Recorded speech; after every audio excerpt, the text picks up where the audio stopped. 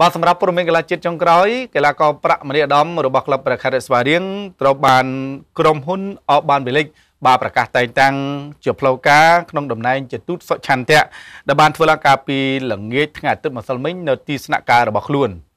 កីឡាករប្រាក់មនីអាដាមនៃក្លឹបប្រកាសស្វារៀងដែលកំពុងបន្តក្តោបក្តាប់លើកម្ពុជាតារាងនៃលីកកម្ពុជាកម្ពុជាសប្តាហ៍ទី21រដូវកាល2019នេះត្រូវបានក្រុមហ៊ុន Urban Village ប្រកាសតែងតាំងជាផ្លូវការក្នុងតំណែងជាទូតសុចន្ទៈកាលពីល្ងាចថ្ងៃអាទិត្យម្សិលមិញនៅទីស្នាក់ការរបស់ខ្លួន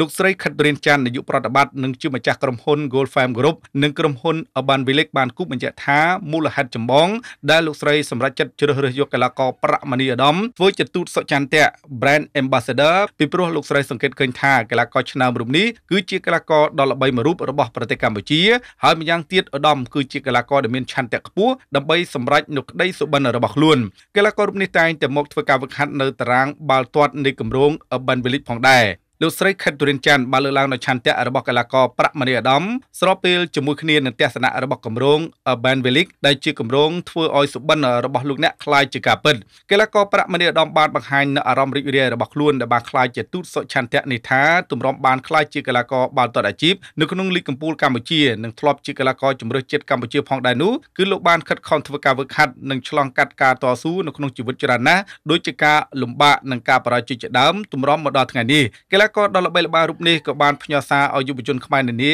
ក៏បីត្រតស៊ូនៅក្នុងជីវិតនិងចូលរួមលេងកីឡាដើម្បីសុខភាពគ្រប់គ្នាទៀតផងជាមួយគ្នានេះមនីអាដាមក៏បានបដិញ្ញាចិត្តខ្ពស់ថាក្នុងនាមជាទូតសុចន្ទៈនឹងខិតខំជួយផ្សព្វផ្សាយនិងជួយឲ្យក្រុមហ៊ុន Urban Village ទទួលបានការគ្រប់គ្រងកាន់តែច្រើនឡើងបន្ថែមទៀត សូមបញ្ជាក់ថាគម្រោង Urban Village គឺជាគម្រោងអភិវឌ្ឍហុងកុងធំជាងគេបង្អស់នៅប្រទេសកម្ពុជាហើយបានរៀបចំកម្មវិធីមួយជាមួយកីឡាករប្រាក់មនីអាដាមដោយគម្រោង Urban Village បានជ្រើសរើសយកប្រាក់មនីអាដាមធ្វើជាទូតសុចន្ទៈម៉ាកសញ្ញារបស់គម្រោងមួយនេះដើម្បីជួយជ្រោមជ្រែងបន្ថែមឲ្យទទួលបានជោគជ័យជាបន្តទៀត។